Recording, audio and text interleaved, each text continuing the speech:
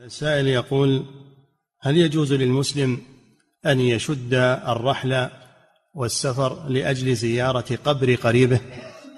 لا ما يسافر لأجل زيارة القبر لا قريبه ولا غيره حتى قبر الرسول صلى الله عليه وسلم.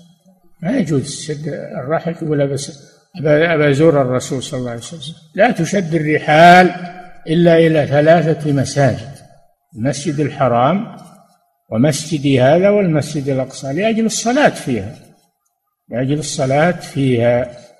نعم. ما حكم السفر إلى زيارة قبر سيدنا صلى الله عليه وآله وسلم؟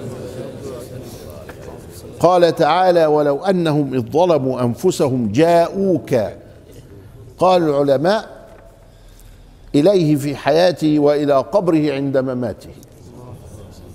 ومن هنا رأينا أن الله أبرز قبره وجعل الجن والإنس يتفقون على مكانه.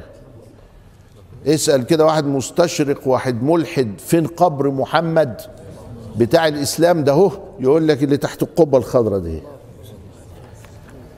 ما فيش نبي كده. حتى سيدنا إبراهيم في الخليل محل نظر وبحث. سيدنا موسى قبره موجود في أريحة. ابدا اليهود بيقولوا مش موجود. ده مش هنا. أما الذي اتفق عليه الجن والإنس والمؤمن والكافر والمسلم وغير المسلم هو سيدنا النبي فقط.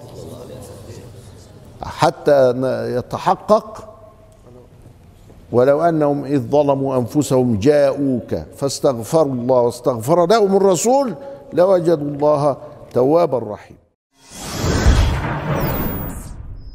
امت مدیا تیوی.